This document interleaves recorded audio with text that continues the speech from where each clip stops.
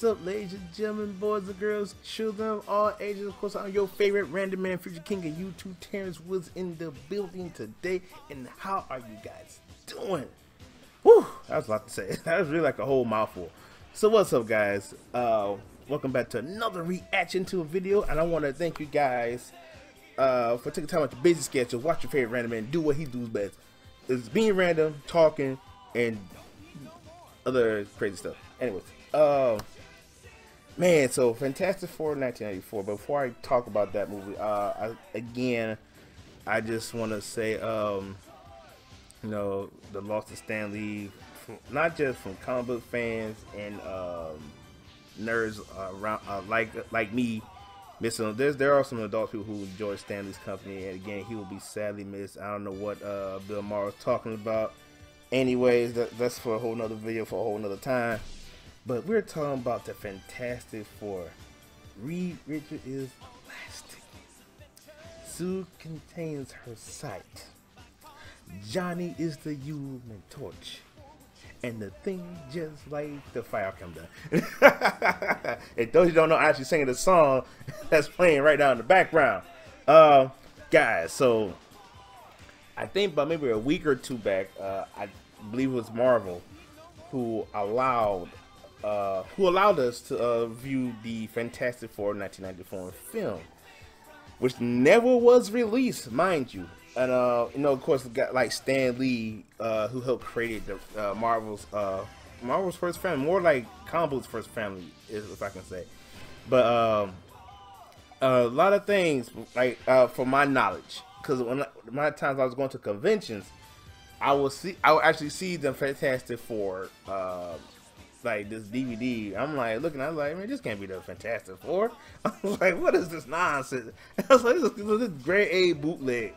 And um, I think I want to say when I went to Motor City Comic Con, that's when I actually saw the uh the bootleg version. I never bought it. I never bought it because again, it was bootleg, so I never bought. it. I never cared too much about it.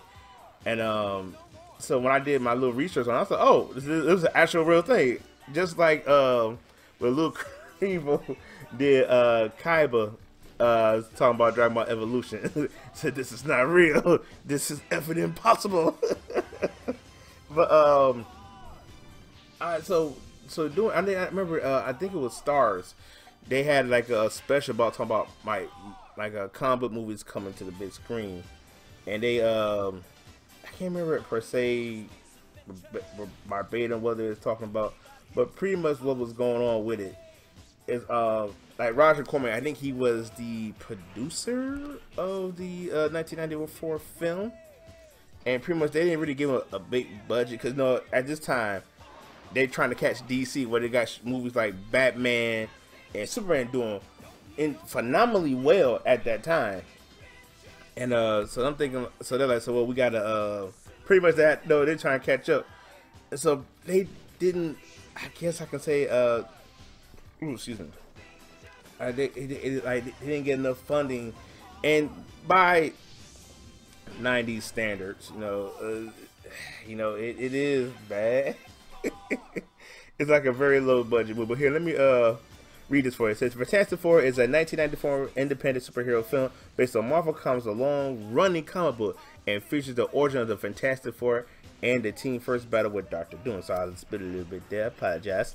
Combining the super super team origin with the Fantastic Four number one and Doctor Doom's origin for Fantastic Four Annual two, with original elements executive produced with a low budget specialist Roger Corman and Bernard Inky, Bernard uh, who went to produce the big budget Fantastic. Wow, he I did not know that.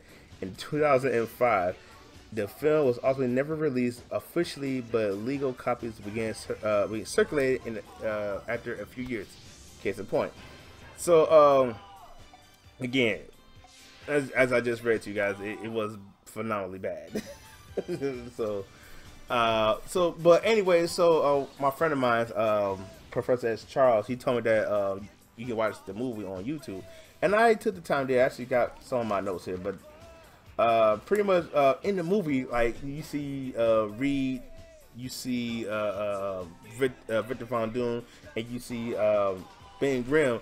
They all are in college, and uh, and so like they definitely for me, I love how they stuck with the origin of the comic. You know, they had the like a. Uh, like they like like uh Reed and Ben made it cause then the custom made Victor Von Victor Von Doom of course and they, they showed the, the, the, friendship that Reed and Ben had, which was pretty good, right on it. Uh, even they played the rivalry between Richards and Doom really good. But the one, like, before I get more into the rivalry of that, the one thing that really shocked me was uh, I, I, when, when Reed was in college. I want to say maybe she was in high school along with John. I could be wrong, but there was like kids, well, high school kids. I don't know. It was like there was kids, and Sue was madly in love with Reed, and it was like, oh my god, I was like, really? So, so like, so, so, so this is gonna be kind of weird looking, but uh, eventually, going back to the rivalry was done to me was done really well uh, during that time. Uh, like when Reed make a suggestion, Doom just shoves it to the side. We're like, no, we won't do it like this. This way it's gonna work. Uh, you don't really see that in the. Um, the first two Fantastic Four movies and the reboot, you really don't see that rivalry that uh, um, that Ben and I mean that's sorry that uh, that Reed and Victor have. Like they show that they show their friendship, but at the same time they showed that their their rivalry and Doom didn't want to play second fiddle to Reed. So eventually everything goes wrong because they're trying to uh, gather this, this Colossus star or it's, well, it's not cosmic ray. I guess there's their version of the cosmic uh, radiation that, that made them the Fantastic Four. Uh, so pretty much what happens uh, is explosion. Doom is horribly uh, burnt, and uh, so Reed thinking Doom was dead, and she's like, so basically, no, he, he's still secretly working on it, but it was like ten years later, and uh, okay, I said that. So pretty much, uh, Reed gets this diamond. They get to the Baxter building and he's getting to uh, he's getting ready to uh, no use it for as they, as they go into space, so he can pretty much like no I guess like capture I'll say catch or measure the, the, the Colossus star or whatnot. But uh, as as we, we do meet uh, Alicia Masters, uh, just like I say, ten years past, Johnny and Sue are adults. You know, Sue sees Reed and she's like Reed's like smitten with uh, Susan. Susan again since she's older now, she can really pursue Reed now. So it was, it really, um, because with with uh with with I, they really played the um the I guess like the puppy love, I if I can say that, the puppy love between Sue and Reed. So that was that was uh pretty instant. Then like when let's get ready to go set up for the uh no set up for the space uh to go into space. Uh, Reed, oh, that's my phone. Sorry. Uh, Ben ended up meeting Alicia Masters. Of course, I think that was good because uh, I know if I remember, I didn't. Wasn't Kerry Washington in the first Fantastic Four movie? I, I don't know in 2005. I don't know. I can't. I can't remember off the top of my head right now. Uh, then Ben's is already spitting with her. So then we meet this guy who I thought was the Mole Man, but it's a villain named the Jeweler. And he now and this guy, I guess you can him to be the Mole Man, what for what not, whatever you want to say. So he's he want to make uh, uh, Alicia his queen. So the best way he can do it is like, hey, I'm gonna take this diamond and we're sending it to her. So pretty much, because then Doom again is you know Doctor Doom. He's alive in this movie. He's still alive, and uh, he's like, you know, he he wanted to pretty much sabotage Reed by taking a diamond and using the harmful energy for himself. But he was like, no. Then the, the, jewel came in, steals it, and re- and replaces it. Said, oh, the Jew just did me a favor. So you know what? You know what? Let so let him get away with the diamond for now. I will get I will get him later. So pretty much we get ready to go head into space. And uh before we get ahead, Doom had this weird laugh.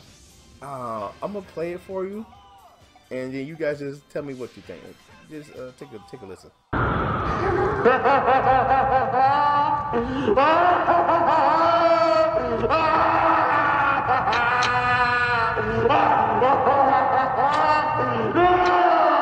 yeah, yeah, that was weird. that was really weird. Um. Anyway, so pretty much they go to space. They find out the diamonds are fake, and pretty much what the diamond was, it was supposed to absorb this uh the, the, the radiation or the energy waves from uh, from this Colossus Star, whatever, whatever they call. I'm, I'm call it the Colossus Star, whatever. And uh, so basically, by by the jeweler switching out the diamond with the with with a fake one, they got infected. And so by them getting infected by the diamond, they uh, crash land, and on, only changes happened right then and there was uh, Reed, who's of course again stretched. Sue changes. Uh, she can uh, contain her sight, and Johnny who can transform into Human Torch, of course. Uh, eventually, uh, Doom find out about them. They find out that they're still alive. They go get them, bring it to bring it to uh, his hideout, Castle Von Doom. Uh, if it's Castle Von Doom, so I don't know. I could be wrong. So by them catching, uh, they managed to escape. Of course, being said, the ever loving is Clementine. Yes, guy, it, it, it, works so well. So uh, Ben, and when they when they finally get back to the city, uh, know, nobody's not liking how Ben because how Ben look he's he's the thing. Nobody like he everybody's scared of him. This that and the other. And eventually, you know, like I said, Ben runs off and he ends up running into the jeweler. Because if, if, I remember right, I think the Moleman, uh, the Mole King, I should say, uh, they, they invited Ben to their ranks. Because like it's like, hey, down here, we you know you were accepted, and that and pretty much that's how it was. If I if I want I want to say that's how it went, but uh, again, just paraphrasing. Again, the jeweler supposed to be. I believe the jeweler was supposed to be was supposed to be the mole was the mole king. Supposedly, that's what I think. That's what I'm gathering. But anyways, continuing on. Eventually, Doom goes after the mole, uh, goes after the jeweler, just so he can get the diamond, so he can uh, so he can use the diamond entry for himself. Uh, the jeweler's like, no, I'm not gonna let, I'm not gonna give it to you. It's for my queen, for Alicia. And then uh, eventually, uh, what I got here. Uh, Alicia tells Ben that she. Oh, Alicia tells Ben that she loves him, and and um, Ben had to make a great. He had to escape because he didn't want Alicia to be harmed. So now, what? None of the none of the three Fantastic Four movies that came out in the 2000s, they didn't touch on this subject, and I read on this. Uh, Ben's powers is is um, connected to his emotions. See, the funny thing is, the funny thing is, if Ben was like would stressed out so much and stay concentrated, he can easily transform. And he transforms back to a human, but he since he's so stressed out and the fact that he can't become human, he can't. Uh, he, he he stays in his rocky form. And the funny thing is, I mean, I'm going back to the old uh the, the '90s Spider-Man cartoon. Ben had the ability to transform back, but that's that's that was because of Doom gave, gave him the ability to, to do. I can't remember what he do, what he uses, like what he um I think he. I don't know. I just I think he gave him the bit. I just can't remember off the top of my head how he did it in the Spider-Man. I know I know it's like um it's like a battle between good versus evil. All the villains from Captain America and Spider-Man, X-Men was working together, and the Spider-Man get together with some of the X-Men, Captain America, Black Cat, the Fantastic Four. I think it's, yeah, Captain, yeah, it's just Captain America, and all that was going down as well. But uh, I, I to me that's one of the biggest things that stands out, and of course Doctor Doom's laugh. But that's one thing that really stood out to me. Like no, no none of the movies was able to um, talk about that. Was was really surprising to me. So again, I felt like the '90s movie, far being because I know it was bad, really stuck to what made uh, uh like kind of stay to the comic form. You know, I, to me, I believe like um, with Fantastic Four and and Rise of the, the Rise of the Silver Surfer, I felt that's more of a mixture of the two but it, I think it didn't get portrayed right or or delivered right. I say. Then of course the new the reboot for Transfer was was awful because it didn't show that family dynamic, which I would give credit to to this to the '94 Fantastic Four movie. Um, the no the uh, the, uh, the Fantastic Four movie and Rise of the Silver Surfer. They kind of showed that family dynamic, and I think um, they didn't really show that much right between Reed and Doom that much in the first film. Man, I don't think they didn't do it in these. He, it was it wasn't as prominent as uh, or thrown out as it was in in this movie. And uh, I I think for me, Johnny was more of a um. I'm not saying why he's worried because he don't think he don't know if he better control his powers or not, but he didn't pick on Ben as much.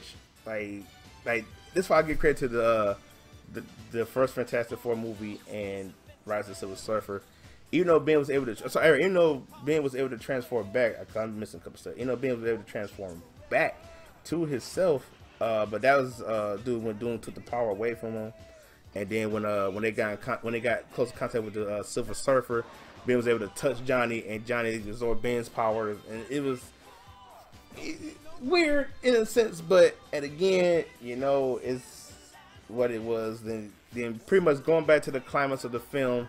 I'm getting a little bit off topic here. Um, no, the final fight, pretty much they save Alicia. Uh, Johnny with flame on, literally punched the crap out of a laser. easily beat that. Uh, Reed easily beats Doom, and uh, that pretty much that's about it that that's about it about the 1994 movie. Um, I would like to say that yeah, I know the, the movie itself is again cr- incredibly bad. I get that 100, percent but for me, it it, it kind of in a sense it kind of stuck out because it somewhat kept what made the Fantastic Four good. Bar bar from be it, I really think the the first Fantastic Four movie and Rise of the Silver Surfer did its job. It just and it got ain't like the the reboot just was bad. And I'm not saying I'm saying with the reboot. I don't. I'm gonna get back to talk. I'm get ready to close this video out. Um, I, for me, what made the reboot bad for the uh, Fantastic Four movie was it didn't make it. It wasn't family oriented. I guess what I'm saying, like you know, the family is Marvel first family. They're like the first family of comics, and then the one time uh, Johnny actually got on Ben was at the end of the movie. That was it. That's all we get, you know. But again, I didn't get that in this film either because John's so worried about more so on himself. But um, you know, again, I you know the movie's not great, guys. It, it had stuff that made me want to say, hmm, this is actually pretty decent, pretty good. And again, this is the first time I watched the movie. So it was, it, in, in, my eyes, it was good. Not great, good, but it, the reason I'm, the reason I'm saying it's good because it, it, it, had some some of some, not all, some of the core values that made Fantastic Four great as a comic and as a cartoon and so on and so forth. All right, guys, so we're gonna get ready to end this movie off. I'm gonna end this video, end this video off here. Make sure you like, share, subscribe, take your friends up. Me come to the Reddit site. We do have those cookies, and um, tell me what other video you want me to do a reaction to next. Uh, you want to do it like you want to talk about the other three Fantastic Four movies? You want me to actually do the cartoons? Because I will definitely do the cartoons as well. Because that actually has a special place in my heart as well. And, or or even when we're talking about the video games, I, I have yet to do a reaction to a video game when I play out through top of everything. I haven't done it. I don't know. I don't know when, I'm gonna get, get get the chance to do that. But anyways, guys, please, I'm gonna say it again. Uh, please, you guys stay random, and I'll see you all in the next video. I'ma do it all for you. Come along and see it's true But the world is pretty cold. You might need a sweater too. I'ma put her